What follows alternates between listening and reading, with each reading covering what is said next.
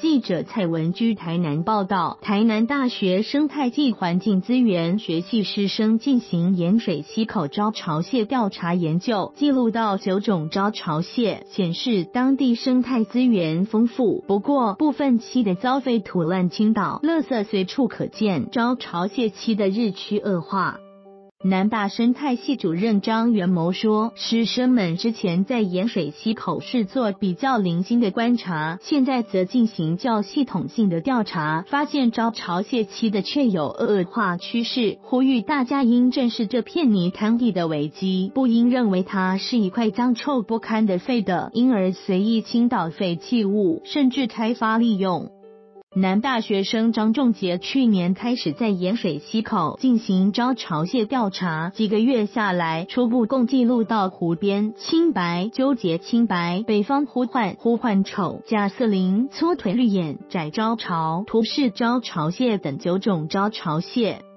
张仲杰说，其中粗腿绿眼窄招潮蟹的数量很稀少，而粗腿绿眼的情况不是很好，他最多看到五只，而现在有一二只就很不错了。而当地栖的也有恶化的趋势，除了随处可见的垃圾，部分栖的也遭人倾倒余温废土，造成招潮蟹栖地的消失。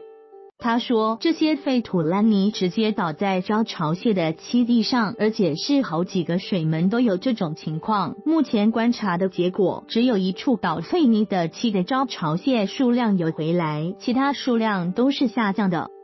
张元谋说：“河口的泥滩地是招潮蟹重要的栖的泥滩地。”